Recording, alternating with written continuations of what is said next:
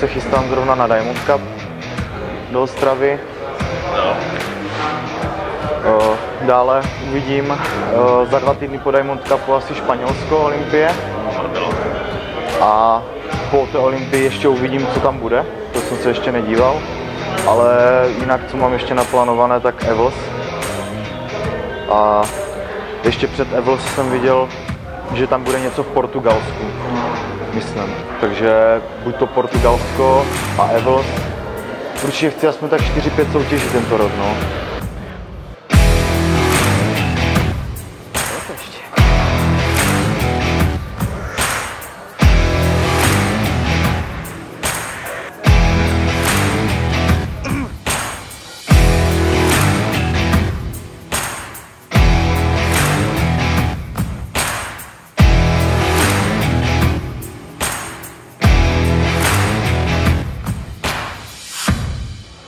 Držím sacharidové vlny zrovna. Sacharid držím u, už asi měsíc a půl na 50, 150, 300.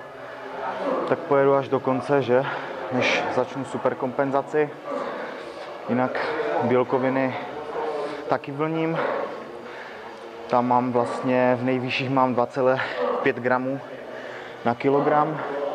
Ty střední 2,3 a ty nejnižší mám 2 gramy na kilogram. E, tuky taky vlním, to mám e, vlastně ve vysokých sacharidách mám nulu tuku, z masa to nepočítám, že jo. E, v těch středních mám nějakých e, 50 gramů, což beru z oříšků, jako z kešu, z vlašských a v těch e, nejnižších sacharidech vlastně mám 100 gramů.